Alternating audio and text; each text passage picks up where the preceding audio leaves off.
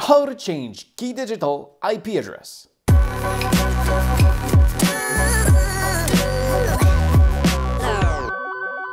Unfortunately, Key Digital Matrix doesn't support DHCP. So if you try to control it over IP and it's not on the same range than your router, you will have to do this tricky operation.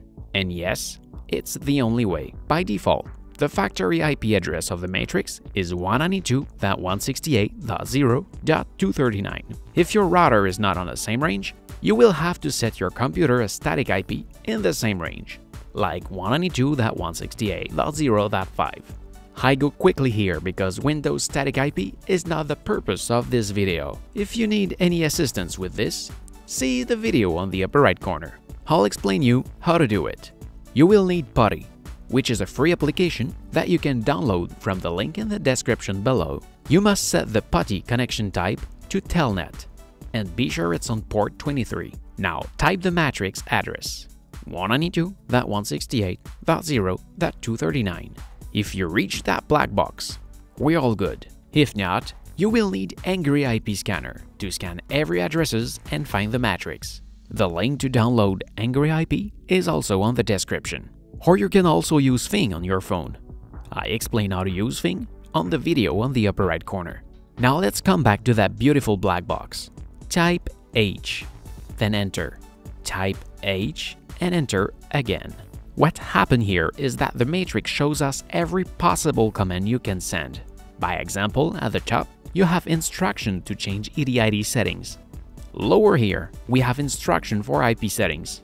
So first, we want to change the IP address so it come back on the same range of your router.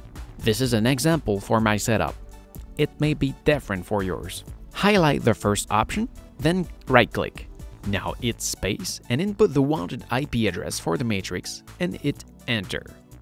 The second one here, we don't need to change it.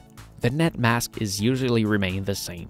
Finally, we want to change the router address also known as the default gateway. Again, this is an example for my setup. If you do not know what is your default gateway, I explain how to find out on the video on the upper right corner. Do not do as I did by adding few more later at the end. Just hit enter. It was a mistake, but it has worked. Now send this one last comment. This one will apply your settings and reboot. You can close this window and set your computer back to DHCP. And you're done. As you can see, under DHCP, I can now find it with Angry IP Scanner, meaning that it has work. If you have any question, please ask in the comment below. So this is it. Thank you for watching. I hope it helps. Don't forget to subscribe. What do you see back there, it's from my main channel. Please come take a look at this right there. Thank you for watching again. See ya!